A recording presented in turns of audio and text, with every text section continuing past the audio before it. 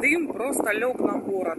Пожар на нефтебазе в Пролетарске начался после атаки дронов. Загорелись два десятка цистерн с дизельным топливом объемом по 5000 кубических метров каждая. Всего таких резервуаров там больше 70.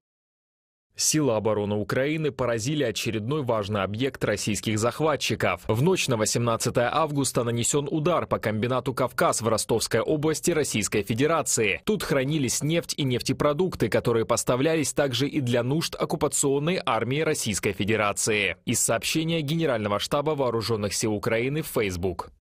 При попытках ликвидировать пожар пострадали около полусотни спасателей. Семерых в тяжелом состоянии доставили в госпиталь в Петербурге. А на предприятии появилась угроза разгерметизации керосиновых цистерн. Тем временем горит уже сам город, сообщили в МЧС Федерации. Местные жители говорят, пылает целая улица. Поясняя причины пожара, чиновники в показаниях путаются. Сначала написали, что огонь перекинулся с нефтебазы на жилые дома. Позже, что это два разных пожара пожара. Местным жителям до таких тонкостей дела нет. Город окутал черный дым. Дышать нечем. Хотя мэр Пролетарска уверяет, в городе все стабильно и эвакуировать население не нужно. Конечно, у нас никаких нет. У нас все нормально. Радио «Свобода» опубликовала спутниковый снимок, на котором видны последствия длительного пожара на нефтебазе в Ростовской области. Как отмечается, он сделан 23 августа. Из-за атак по российским нефтехранилищам и НПЗ в стране дорожает топливо, несмотря на все попытки властей сдержать рост цен. 98-е топливо э, уже дорожает, уже скрывать не могут, э, как они дорожают.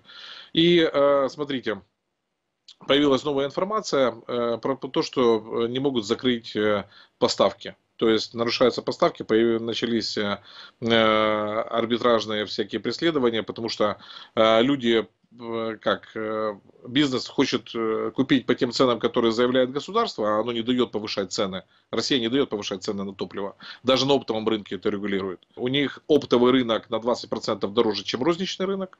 Тактика постоянных атак на российские НПЗ и нефтебазы, по мнению экспертов, очень эффективна. Сокращение притока средств на продолжение войны, задержки в поставках российской армии – самые очевидные ее результаты. Мы уже по третьему и четвертому кругу утюжим а, вот эту нефтянку российскую. У нас есть э, очень большие успехи. Они заключаются в том, что фактически высокооктановые топлива и а, дополнительные химические продукты, которые необходимы там в, нефте, ну, в нефтехимической продукции, мы у них а, выбили вот, они производить что-то серьезное уже не могут, то есть под вопрос поставлены э, высокооктановое топливо, э, вообще нет возможности перерабатывать э, авиатопливо, то есть э, то, что я предсказывал вместе с вами два года назад уже произошло, то есть это Беларусь поставляет авиатопливо, там э, через границу поступает, но вот уже э, страна бензоколонка по авиатопливу все, Владельцы уже спешат избавиться от рискованных объектов. Одну нефтебазу в Ростовской области выставили на продажу 20 августа, вторую незадолго до этого. Владельцы готовы сдавать объекты в аренду, если покупатели не найдутся. Также в Ростовской области на продажу выставили еще два нефтеперерабатывающих завода и неработающую нефтебазу. Виктория Смирнова для телеканала «Фридом».